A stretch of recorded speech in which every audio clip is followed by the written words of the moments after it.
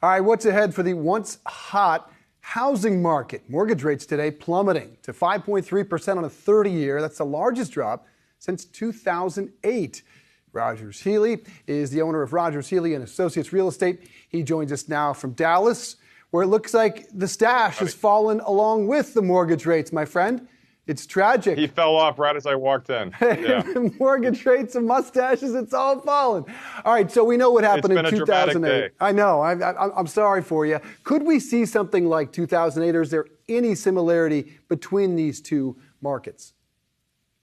Yeah, you know, and first of all, you, you never know what's going to happen. I think we've learned over the past few months that it's all, you know, it's all unpredictable, and I think that keeps people like me on my toes. And so, I, think that you know we're still going to be in a pretty stable run here coming up. But you know, what's what's interesting is the mortgage, you know, decrease as far as the rate today. It's still higher than it was two months ago. So to be above five percent is still substantially higher than it was in late and early spring. But I, I don't think we're headed towards any kind of crisis. I don't think that we have any numbers that support a housing crash. I think that it's going to give people an opportunity that have been waiting the last few years because mortgage rates have decreased, inventory has increased, and so hopefully it's going to, you know, create a whole different opportunity for people that have been waiting. And obviously, we did have a lot of people waiting on the sidelines, and that was for a lack of inventory. And then, of course, you add in the mortgage rates and the, the interest rate hike from the Fed, and that sort of really did put people off. But what are we seeing now, though? We're seeing inventory is climbing up about 18.7% year over year. But is it going to climb fast enough, and at what point to match the demand that's out there? Yeah, I, I, think kind of the thing that people aren't really discussing is this is normally a slower time of year. And so when you have interest rates that are higher than they were a year ago, even though inventory is a little bit higher as well, you know, I, I think that we're going to have a little bit of uh, circumstances that are unforeseen, but I do think that her, there has been a really big pickup the last two weeks, and then hopefully, you know, this week and next, we're going to have people come out of the, the woodwork because the other thing that people aren't really mentioning that often is that rental rates are at an all-time high, and these people that purchased properties two years ago and, and prior, you know, they're building at a time that they have to go recoup the costs that they went and overpaid for the land. So I, I do think we're going to have an influx of buyers between now and probably late November. So at that 30-year average, a borrower with a $300,000 mortgage would pay roughly 1665 a month. That's $383 more per month than just the end of last year. So the question being, when are we going to see some softening of these prices?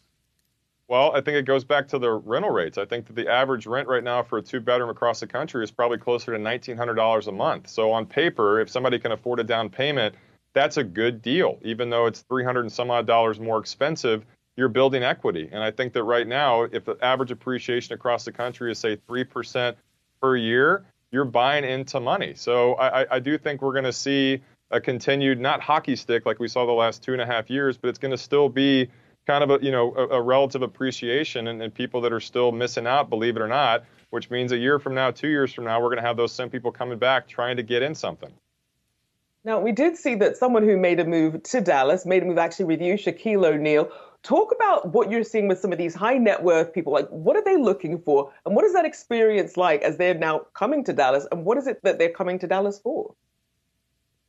I think the short answer is opportunity. And, you know, obviously our, our firm has represented a lot of big names, most recently Shaquille O'Neal, like you said. And I think that once people get over the fact that Dallas doesn't have mountains, it doesn't have water, you know, it makes sense. And in Dallas, you know, compared to Chicago and LA and New York and Atlanta, you know, Miami or Vegas, it's a great deal on paper. And it's also centrally located. So we, we've always had people that are in the pro sports world live here that have no direct connection to Dallas or Texas. But Shaq actually is a native Texan. And so maybe it just felt like it was the right time. But yeah, you know, it, it feels like Dallas all of a sudden is this next boom town and everybody wants to be here. And I, you know, get a kick out of it because when you come to visit, you better have friends or family or you know a concert or a bar to go to because that's our sales pitch. But I think people have appreciated the fact that it's booming and there's opportunity to grow all four ways. And athletes, you know, love the controlled climate and love that it's centrally located.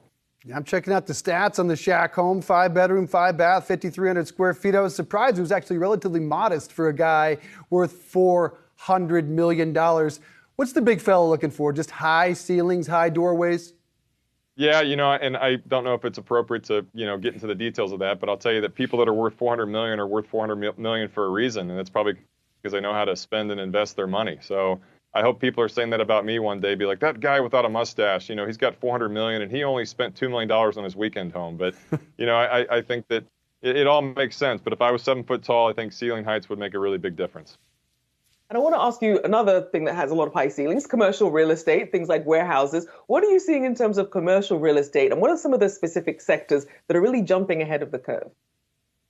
Yeah, so in, in my experience, commercial real estate trends usually are about two to three years behind residential. And so what's happened even in the last few months alone is we've seen office office space booming, especially in cities like Dallas, and people that are kind of tired of working from home or they need more space to collaborate, they need more office space. And I think what we have what we saw happen in COVID, the trends for residential where people didn't want big open office environments, that's kind of coming back to commercial as well. And on top of that too, the industrial space they literally cannot build it fast enough. And you can think about companies like Amazon that need a million square feet per warehouse. There's also companies that need 30 and 50,000 square feet. So those markets continue to boom all across the country, especially in the cities that are kind of forever towns like New York, Dallas, LA, Houston, et cetera. So yeah, I think we've got a solid, you know, multi-year run for commercial real estate being at a at a peak. Certainly sounds like you're going to have your hands full. Always good to see you, Rogers Healy there, the Rogers Healy Company's owner and CEO. Thank you.